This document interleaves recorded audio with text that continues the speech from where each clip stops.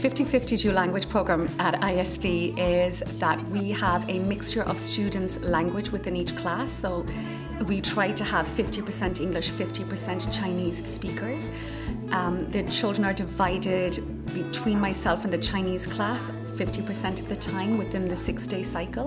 Um, and in that way, they have equal exposure to both languages.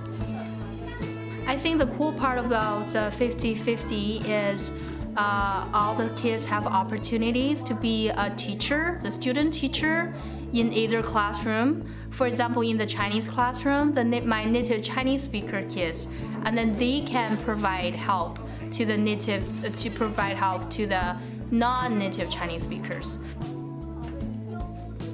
There were three main um, overarching goals. Uh, they're often referred to as the three pillars of dual language. Uh, the first one is um, having our students become bilingual and biliterate. So, what that means, um, there are many of us that are on the continuum um, as bilinguals um, in a dual language program like the one that we have here at ISB. Um, it's not just about the students being able to speak and understand in Chinese and English. We take it to a deeper level, which is biliteracy.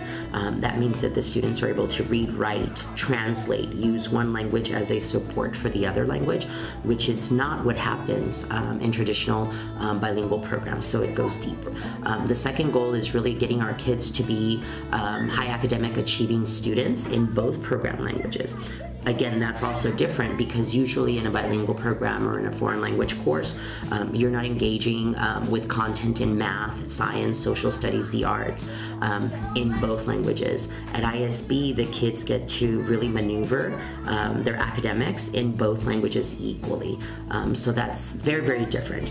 And then the last pillar really focuses on sociocultural competence, which I personally think as a researcher and as a practitioner is um, really so very important, especially in today's times, because we want our kids to be global citizens. That means that through the coursework and really focusing on the other two pillars, the students are able to strengthen their ability to be global citizens um, and see each other's similarities and differences, but seeing the differences as opportunities to connect rather than obstacles to overcome. And, and that's rare um, and not something that's offered in, um, in any other educational program besides uh, a dual language program.